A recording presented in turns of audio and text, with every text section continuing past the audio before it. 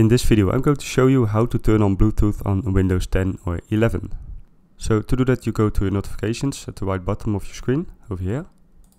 You open that and if Bluetooth is already installed on your system you will see it uh, somewhere over here but at my system it is over here. So I can select it and as you can see it is now turned on. But this is way too easy so I assume that it's not working on your system so you don't have this icon over here. To check if your system got uh, Bluetooth you can go to the search bar over here where you also can uh, insert the Windows key and you search for device, device manager. If Bluetooth is installed you will see it over here so you can open it and as you can see I have the Intel wireless Bluetooth. So if you don't see Bluetooth over here, it means that you don't have the drivers on your system.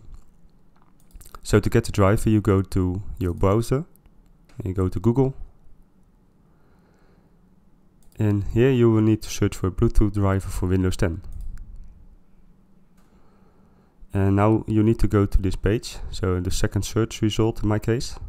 I open the page and here you can uh, see the available downloads. So there's a 64-bit version, also 32. If you don't know what uh, kind of system you have, you can go to the menu and you search for system. You need to open this one. And here you can see uh, the type of system. So I have the 64 and uh, yeah, just check which one you've got.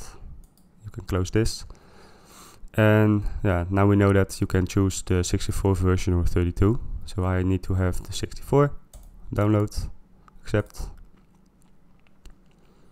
and you can open the download from here you can also go to the file explorer at the bottom over here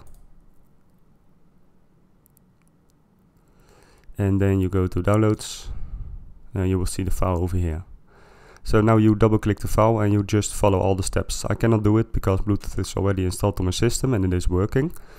But just follow the steps and it's, it's very easy. So after you follow the steps, you need to restart your system and then Bluetooth will be working on your laptop or PC. So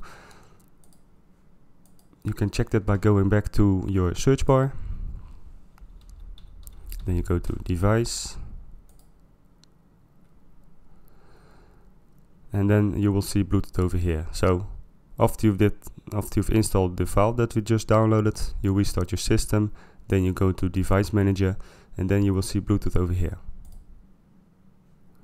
Okay, so after that you can go to the notifications and then you will see this button over here to enable Bluetooth.